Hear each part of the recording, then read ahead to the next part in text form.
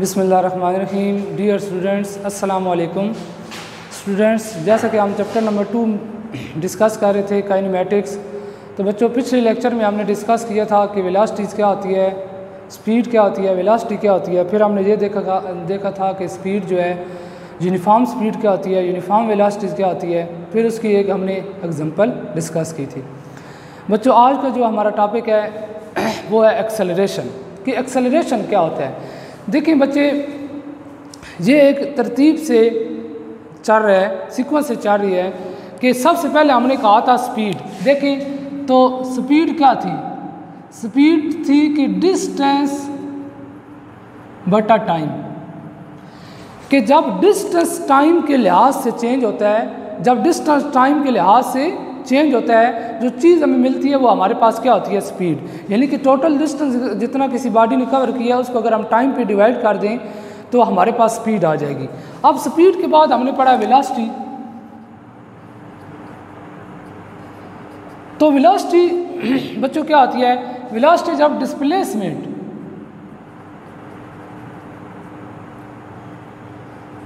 जब displacement time के लिहाज से चेंज होता है तो क्या बन जाती है? विलासिटी बच्चे फिर देखें। जब डिस्टेंस टाइम के लिहाज से चेंज होता है तो स्पीड बनती है। और जब बच्चों, आपके पास डिस्प्लेसमेंट टाइम के लिहाज से चेंज होगा तो क्या बनेगी? विलासिटी बनेगी। ठीक है? स्पीड तब बनी जब डिस्टेंस चेंज हुआ टाइम के लिहाज से। वेलोसिटी तब बनी जब डिस्प्लेसमेंट चेंज हुआ टाइम के लिहाज से।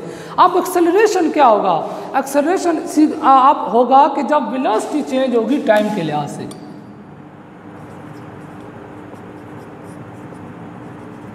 जी, हम डिटेल में बच्चों, आप डिस्कस करते हैं। तो जब वेलोसिटी टाइम के लिहाज से चेंज हो जाएगी तो क्या बन जाएगा? एक्सेलरेशन फिर बच्चे देखें स्पीड क्या थी? जब डिस्टेंस को हमने टाइम पे डिवाइड किया डिस्टेंस टाइम के लिहाज से चेंज हुआ तो स्पीड बन गई।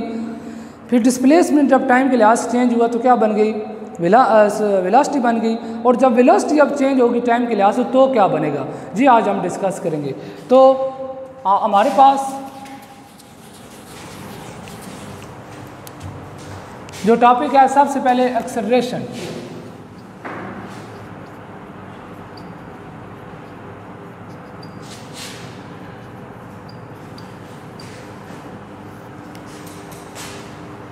हाँ जी एक्सलरेशन क्या होता है?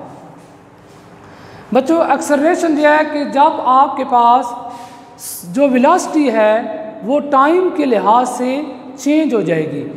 कैसे? कि अब एक बॉडी मूव कर रही है। ठीक है? बॉडी मूव कर रही है, उसकी विलासिटी हमारे पास, फॉर एग्जांपल जब वो मूव करना शुरू हुई तो उसकी विलासिटी हमारे पास थी इनिशियल विलासिटी ठीक है? तो बॉडी उस टाइम रुकी हुई थी, या कार आप ले लें, ठीक है? कार उस टाइम रुकी हुई थी। जैसे उसने चलना स्टार्ट किया तो उसकी जो स्पीड है, वो इंक्रीज होती चली गई, ठीक है? अब आप देखें कि वो दूसरे वार्ड में उसकी जो विलासिटी है, वो अब क्या हो रही है? चेंज पहले ज़ीरो पे थी, अब ज़ीरो से बढ़ रही है। कुछ टाइम के बाद उसकी विलासिटी जो है वो फॉर एग्ज़ाम्पल पहले ज़ीरो थी, अब बीस हो गई है ट्वेंटी तो अब ट्वेंटी मीटर पर सेकेंड उसकी जो है विलासिटी और टाइम कितना हो गया है? टेन सेकेंड फॉर एग्ज़ाम्पल या टेन मिनट आप कह लें.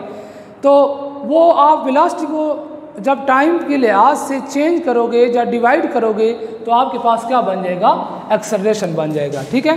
तो एक बच्चों, आपने बात याद रखनी है कि जब आपके पास कोई भी गाड़ी मूव करती है तो मूव करने के बाद जो रुक जाती है, उसकी विलासिटी उस टाइम ज़ीरो हो जाती है। लेकिन उस, उसका एक्सलरेशन जो है वो ज़ीरो नहीं होता। एक्सलरेशन उसका ज़ीरो नहीं होता, ठीक है? तो अब इसकी डेफिनेशन की तरफ़ सबसे पहले आते हैं। The rate of change of velocity per unit time या आप इसको ऐसे भी डिस्का लिख सकते हैं the rate of change of velocity of a body with respect to time is called acceleration तो rate of change of velocity per unit time is called acceleration कि जब आपके पास वेलोसिटी टाइम के लिहाज से चेंज होती जाएगी तो जो नई चीज़ हमें मिलेगी, उस नई चीज़ को हम क्या कहेंगे? एक्सेलरेशन एक्सेलरेशन का फॉर्मूला बच्चों, क्या होता है? एक्सलरेशन का फॉर्मूला होता है velocity, change in velocity.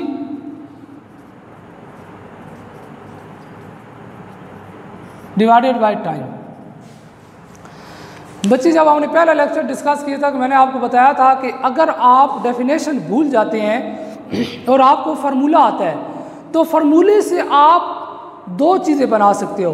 फार्मूले से आप डेफिनेशन भी बना सकते हो और फार्मूले से आप बच्चों यूनिट्स भी बना सकते हो। तो देखिए, अब फार्मूला क्या है? The change in velocity divided by time इसकी अब डेफिनेशन क्या बनेगी? देखें the change in velocity per unit time is called acceleration change in velocity per unit time is called acceleration ठीक है बच्चों? तो अगर आप इसकी नोटेशन लिखें कि इसका सिंबल क्या होता है तो A is equal to V F minus V I divided by T अब बच्चों, जो वी एफ़ और वी आई क्या है? देखें वी एफ़ वी आई आपके पास क्या होती है? इनिशियल वेलोसिटी और वी एफ़ आपके पास क्या होती है? फाइनल वेलोसिटी इनिशियल वेलोसिटी शुरू वाली वेलोसिटी और फाइनल वेलोसिटी लास्ट वाली। देखिए, मैंने अभी आपको एग्जांपल दिया है कि कार जब मूव करना स्टार्ट करती है जो ही वो स्टार्ट लेती है तो उस टाइम बच्चों आपकी जो वेलोसिटी उसकी होगी जो भी है वो आपके पास इनिशियल होगी। और कुछ टाइम के बाद जब वो रुक जाती है तो उस टाइम तक उसकी वेलोसिटी जो होगी वो क्या होगी? फाइनल होगी। आप फाइनल और इनिशियल वेलोसिटी में से फाइनल में से इनिशियल वेलोसिटी माइनस कर दें और उसको टाइम पे डिवाइड कर दें तो आपको पता चल जाएगा जे, जे इस गाड़ी के अंदर एक्सेलरेशन कितना था। ठीक है बच्चों? तो टाइम वो टाइम, टी वो टाइम है जिसके अंदर वो बॉडी के अंदर चेंज आया। उस, उसने एक जगह से दूसरी जगह मूव किया। अब यूनिट की बात करते हैं। बच्चों, मैंने जैसे कभी आपको बताया कि फार्मूले से आप यूनिट बना सकते हो। तो चेंज इन विलासिटी तो क्या चेंज हो रही है? विलासिटी तो विलासिटी का यूनिट क्या होगा? शाबाश। विलासिटी का यूनिट बच्चों है मीटर पर सेकेंड डिवाइडेड ये देखें। चेंज इन विलासिटी यानी कि विलासिटी जो है उसका यूनिट क्या है? विलासिटी का यूनिट होता है metre per second divided by time divided by क्या है? टाइम टाइम का यूनिट क्या होता है? सेकेंड आप बच्चे ज़रा देखें। अब ये आपके पास मीटर पर सेकेंड ये जो है सेकेंड ये डिवाइड हो रहा है। ऊपर जाके क्या हो जाएगा? इसके साथ मल्टीप्लाई लेकिन इसकी पावर क्या थी? प्लस जब ऊपर जाएगा तो इसकी पावर क्या हो जाएगी? माइनस तो अक्सरेशन बच्चों अक्सरेशन का यूनिट क्या आ गया? A is equal to metre power जो बेस सेम है बेस सेम है तो पावर क्या हो जाएँगी? एड माइनस टू तो यानी कि एक्सरेशन का यूनिट क्या आया? Metre per second square metre per second square बच्चे जी, हमने जो चैप्टर नंबर वन था, उसके अंदर बेस और डिराइव यूनिट यूनिट्स पढ़े थे, उनके अंदर भी हमने इसको देखा था कि एक्सरेशन का जो डिराइव यूनिट के अंदर टेबल है, ठीक है? उसके टेबल के अंदर मौजूद था वेलासिटी एक्सरेशन इन सारे के यूनिट्स उधर लिखे हुए थे। तो इसका मतलब है कि एक्सरेशन क्या है? एक डिराइव क्वांटिटी है। और दूसरी बात कि एक्सरेशन बच्चे देखें, जिस तरह वेलासिटी डायरेक्शन डिपेंडेड है वेलोसिटी की एक स्पेसिफिक डायरेक्शन होती है और इसलिए वो वेक्टर है। इसी तरह एक्सरेशन की भी एक स्पेसिफिक डायरेक्शन होती है। एक्सरेशन जो है, वो वेलोसिटी की डायरेक्शन के साथ चेंज हो सकता है। ठीक है, वो हम आगे डिस्कस अभी करेंगे। तो जो एक्सरेशन है, उसकी भी स्पेसिफिक डायरेक्शन होती है। तो स्पेसिफिक डायरेक्शन होने की वजह से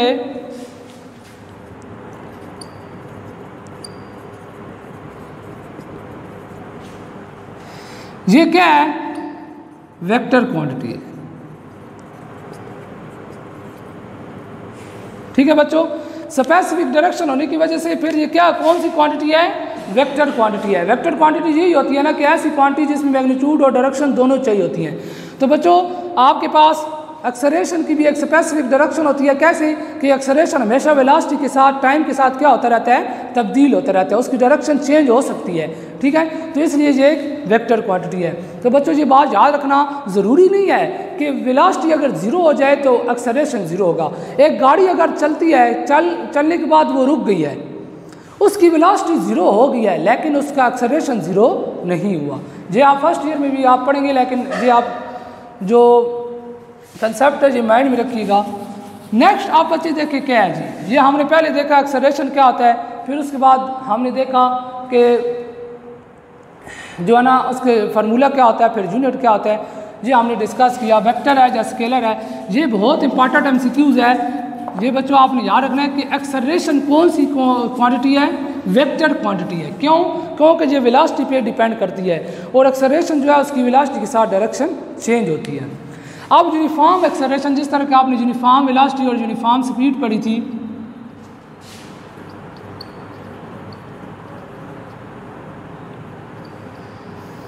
बच्चे यूनिफॉर्म एक्सलेशन यूनिफॉर्म का मतलब होता है एक जैसा, ठीक है?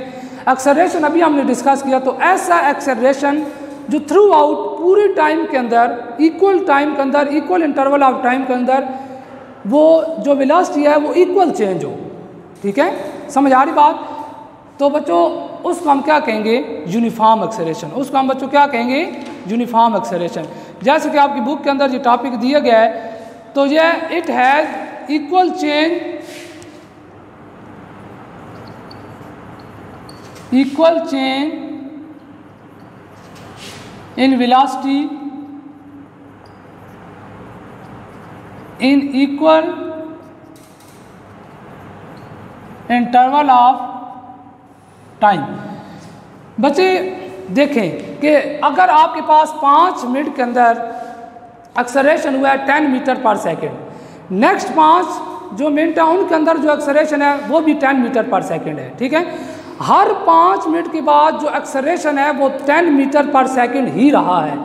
Sorry ten metre per second square ही रहा है, ठीक है? दूसरी वार्ड में आप देखें कि टाइम के लिहाज से equal change in velocity equal interval of time जब equal interval of time time एक जैसा हो और विलासिटी भी एक जैसी चेंज हो रही हो तो वो आपके पास क्या होगा? यूनिफॉर्म एक्सलेशन जैसे कि हर पाँच मिनट के बाद विलासिटी है टेन मीटर पर सेकेंड अगर नेक्स्ट जो फाइव मिनट है, उनके बाद फिर क्या है? टेन मीटर पर सेकेंड आप ज़रा देखें पाँच, हर पाँच मिनट के बाद जो वेलोसिटी चेंज हुई है, वो टेन मीटर पर सेकंड हुई है। ज़्यादा नहीं हुई। इसका मतलब है कि एक्सरेशन क्या रहा है? यूनिफॉर्म रहा है। ठीक है? आप देखिए बच्चे इससे नेक्स्ट जो है, वो है एक्सरेशन की टाइप्स और ये बहुत इंपॉर्टेंट है। पॉजिटिव एक्सरेशन और नेगेटिव एक्सरेशन क्या होता है?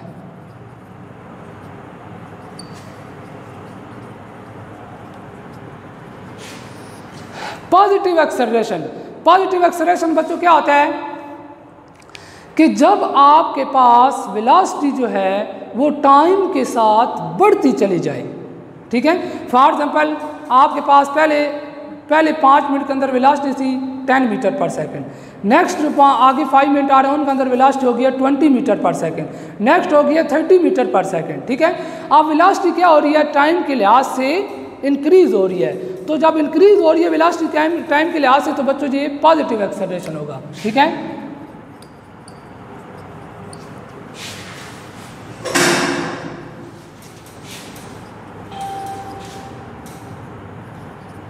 Velocity increase with time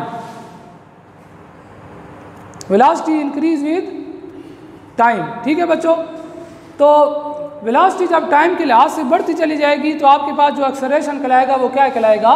positive acceleration और एक बहुत इंपॉर्टेंट बात कि इस टाइम वेलोसिटी की और एक्सलेशन की डायरेक्शन सेम रहेगी।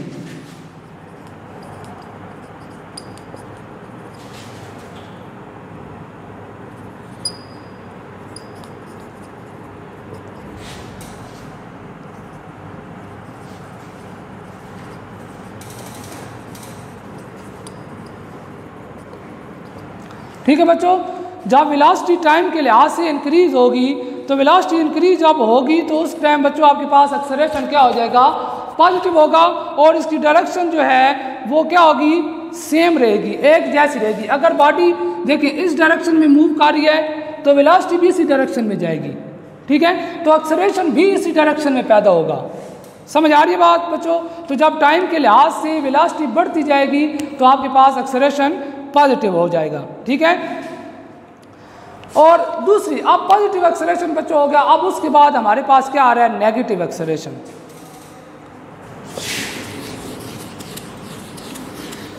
बच्चों, जब टाइम आपके पास बढ़ता है तो विलासिटी भी बढ़ती है और डायरेक्शन सेम रहती है। डायरेक्शन उल्ट नहीं होती। फॉर एग्ज़ाम्पल अगर बॉडी इस डायरेक्शन में मूव कर रही है तो विलासिटी भी इसी डायरेक्शन में है ना।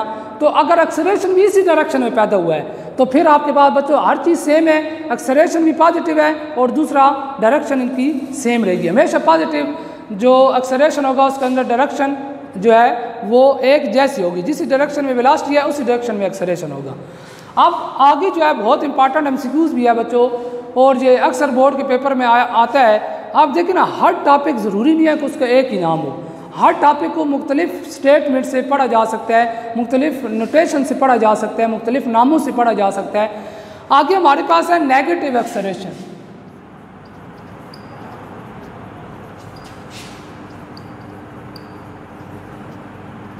अच्छा नेगेटिव एक्सरेशन का एक और, दो और नाम है। एक है रिटार्डेशन फिर एक और भी है डी एक्सेलरेशन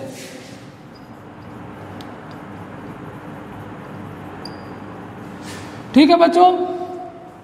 नेगेटिव एक्सरेशन के तीन नाम है। एक तो नेगेटिव एक्सरेशन सेकंड में रिटार्डेशन और थर्ड में इसको हम बोल सकते हैं डी एक्सरेशन इसका मतलब है कि negative acceleration is also called deceleration और रिटार्डेशन नेगेटिव एक्सरेशन क्या होता है? जब वेलोसिटी डिक्रीज विद टाइम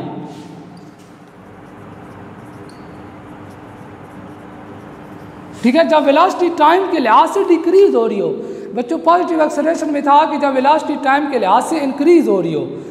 अब नेगेटिव एक्सलेशन में आया कि जब वेलोसिटी टाइम के लिहाज से डिक्रीज हो रही हो। ठीक है, उलट हो गया उधर इंक्रीज हो रही थी, इधर डिक्रीज हो रही थी। और अपोजिट डायरेक्शन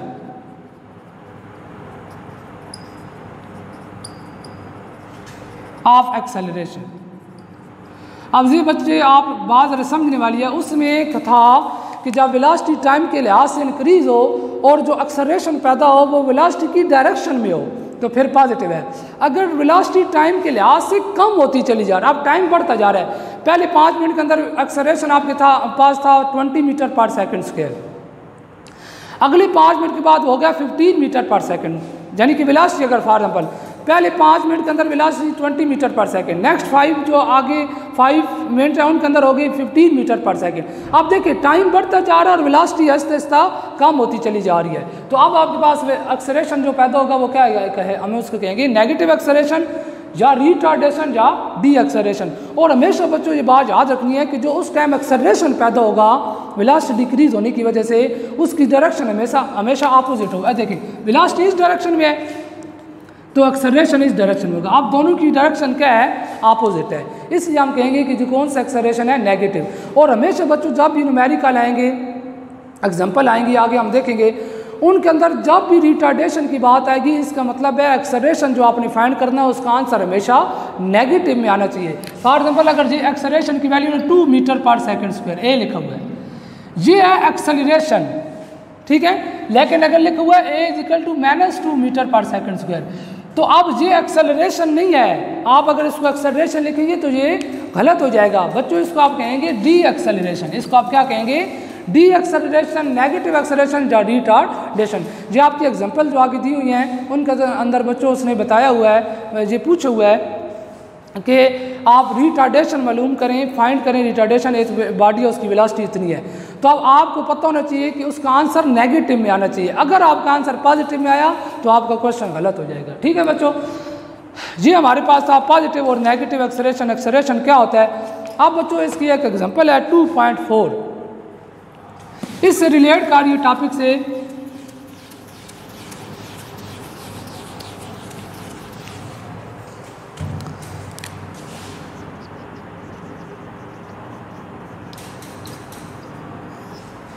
बच्चों चैप्टर नंबर टू की जो सॉल्ड एग्जांपल हैं, वो बहुत इंपॉर्टेंट है, ठीक है? देखें जो बोर्ड के पेपर हैं, उसके जो पैटर्न है, उसमें यही है कि चैप्टर नंबर टू और थ्री में से एक लांग आता है चैप्टर नंबर फोर और सिक्स में से दूसरा लांग आता है, और तीसरा लांग सेवन और एट में से आता है। बच्चों आप तीसरे के न्यूमेरिकल भी इंपॉर्टेंट हैं, चौथे के भी इंपॉर्टेंट हैं, छठे छठे के जो चैप्टर है, उसके भी इंपॉर्टेंट हैं। लेकिन एग्ज़ाम्पल जो है वो बहुत ज़्यादा इंपॉर्टेंट है दूसरे की। वो ज़्यादातर दूसरे चैप्टर में से जहाँ इक्वेशन ऑफ़ मोशन देता है जो आगे हम डिस्कस करेंगे लॉन्ग में। ठीक है? या वो फिर साल्ड एग्ज़ाम्पल देता है। तो इसलिए इसकी साल्ड एग्ज़ाम्पल करना बहुत ज़रूरी है। जे बोर्ड के पेपर के पॉइंट ऑफ़ व्यू से बहुत इंपॉर्टेंट है। तो देखिए एग्ज़ाम्पल वो, वो बच्चों क्या कहता है? कहता है आकार स्टार्ट फ्राम रेस्ट स्टेटमेंट अगर बच्चों आपको समझ आ गई तो फार्मूला लगा के आप इजीली प्रॉब्लम जो भी न्यूमेरिकल है, उसको सॉल्व कर सकते हो। तो स्टेटमेंट को समझना बहुत ज़रूरी है। A car start from rest एक गाड़ी है,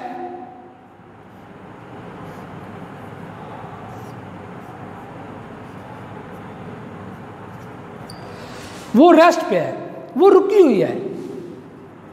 रेस्ट पोजीशन पे है। अब उसने चलना स्टार्ट कर दिया है। चलना क्या कर दिया है? स्टार्ट कर दिया है। It velocity sorry its velocity become 20 metre per second in 8 second find its acceleration कहता है कि एक गाड़ी है, वो चलना स्टार्ट करती है रेस्ट से। जब वो चलती है तो उसकी वेलोसिटी कितनी हो जाती है? 20 मीटर पर सेकेंड। और कितने टाइम के बाद? 8 सेकेंड के बाद। बताएँ उसका एक्सेलरेशन कितना होगा? अब बच्चों, मैंने अभी इस पिछले टॉपिक में डिस्कस किया था कि जब बॉडी चलना स्टार्ट करेगी तो उस टाइम वो इनिशियल वेलासिटी होगी। इसका मतलब है वी आई अब वो कहता है रेस्ट में है तो वी आई ज़ीरो है। और इतने टाइम बाद इतनी वेलासिटी होगी है तो वो अब फाइनल वेलासिटी है वी एफ़ ठीक है टाइम भी आपको दिया गया आपने एक्सरेशन का फार्मूला लगाना है। एक्सरेशन एक वेक्टर क्वांटिटी इसलिए आप इसको एरो हेड से या बार से शो कर सकते हैं। तो a is equal to v f minus v i divided by t पहले बच्चों, आपने गिवन डाटा लिखना है। गिवन डाटा के अंदर लिखना है। हेडिंग दे के गिवन डाटा एक प्रॉपर जो इसका सोल्यूशन होता है गिवन डाटा के अंदर आपने लिखना है वी आई ज़ीरो है v f twenty metre per second है टाइम आपके पास क्या है एट सेकेंड है, और एक्सरेशन आपने मालूम करना है। इसके बाद आपने सोल्यूशन लिखना है, ठीक है? तो गिवन डाटा के भी नंबर आपको मिलते हैं। तो बच्चों देखें, अब वी एफ़ की वैल्यू कितनी है? वी एफ़ की वैल्यू है ट्वेंटी मीटर पर सेकेंड अच्छा मीटर पर सेकेंड जो यूनिट है twenty metre per second, twenty जो अच्छा मीटर पर सेकेंड जो यूनिट्स है, वो बच्चों आप साथ साथ लिख ही जाना लिखे इसमें कोई उसका, उसके ऊपर असर या इफ़ेक्ट नहीं होता, लेकिन ये बात याद रखनी है कि आंसर में आपने लाजमी यूनिट मेंशन करना है। अगर आंसर में आप यूनिट मेंशन ना करेंगे तो उसका एक नंबर कट जाएगा, ठीक है? तो देखिए, twenty minus zero divided by eight अब ये तो ख़त्म हो गया, twenty divided by eight acceleration अब साथ कुछ आप बुक में देखेंगे ना तो उधर लिखोगा metre per second metre per second second इसकी ज़रूरत नहीं है। आप इस आखिर में जाके इस यूनिट को लिख सकते हैं। तो लेकिन आखिर में लिखना है, क्योंकि अगर ना लिखा तो नंबर काट जाएँगे। मीटर पर सेकंड स्क्वेयर ठीक है? अब ए की वैल्यू जब आप इसको सॉल्व करेंगे तो बच्चों आ जाएगी two point five metre per second square ठीक है बच्चों? ट्वेंटी को एट पे डिवाइड करेंगे तो आंसर क्या आएगा? Two point five metre per second square. तो ये बच्चे देखें, अब हमारे पास इस तरह के प्रॉब्लम भी हैं और और भी एग्जांपल्स हैं। तो ये हमारे पास आंसर आ गया। Answer acceleration 2.5 metre per second square. अगर आपने यूनिट मेंशन ना किया तो एक नंबर काट जाएगा बच्चों, इसलिए इसको यूनिट को लाजमी आंसर के अंदर मेंशन करना है। अब जो नेक्स्ट एग्जांपल है, वो है 2.5 बच्चों 2.5 देखें, उसके अंदर भी स्टेटमेंट में आपको समझा देता हूँ। ये असाइनमेंट के तौर पर आपने करनी है। Find the retardation produce when a car moving at the velocity of 30 metre per second कि रिटार्डेशन मालूम मालूम करें। रिटार्डेशन यानी कि नेगेटिव में आंसर आना चाहिए एक्सरेशन का। आगे वो कहते हैं मूविंग द वेलोसिटी जी वी आई आपको दी हुई है थर्टी मीटर पर सेकेंड और फिर वो कहते हैं its velocity become fifteen metre per second उसकी velocity fifteen metre per second हो जाती है। कितने टाइम के बाद बच्चों? फाइव सेकंड के बाद। बिल्कुल वही, देखिए, आपको गिवन डाटा वही दिए हुए हैं। एक्सरेशन मालूम करना है वी आई भी दिए हुआ है वी एफ़ भी दिए हुए हैं, ठीक है? टाइम आपको टाइम भी दिया हुआ है एक्सरेशन अब सिर्फ़ फ़र्क ये होगा कि इसका आंसर पॉजिटिव में आया था। इसका आंसर किसमें आना चाहिए? नेगेटिव में आना चाहिए। इसका आंसर बच्चों किसमें आना चाहिए? नेगेटिव में। उसी तरह आप क्या करेंगे? फिफ्टीन, ठीक है? Fifteen, J fifteen minus thirty divided by five. तो ये minus fifteen divided by five आएगा, फाइव थ्री जार फिफ्टीन होता है। तो इसका आंसर क्या आएगा? Minus three metre per second square. अब जी देखिए रिटार्डेशन निकल आया क्या निकल आया है? रिटार्डेशन ठीक है? तो जी नेगेटिव में आंसर आया, इसलिए जी रिटार्डेशन अगर पॉजिटिव में आता तो जी एक्सरेशन होता, आपका आंसर गलत है। ठीक है? उसने हमें पहले ही बता दिया कि रिटार्डेशन निकाले। तो ये बच्चों, आपने एग्ज़ाम्पल अच्छी तरह सॉल्व करनी है। इन अगली वीडियो में जो लेक्चर है, उसके अंदर हम डिस्कस करेंगे। इससे आगे जो और एग्ज़ाम्पल हैं, और उसके साथ ही ग्राफ क्या होता है और ग्राफ को ले लेके हम चलेंगे, वो बहुत इंपॉर्टेंट है, क्योंकि उससे इक्वेशन ऑफ़ मोशन रिलेट करती है और इक्वेशन ऑफ़ मोशन जो है, वो लॉन्ग क्वेश्चन के हवाले से बहुत इंपॉर्टेंट है। Thank you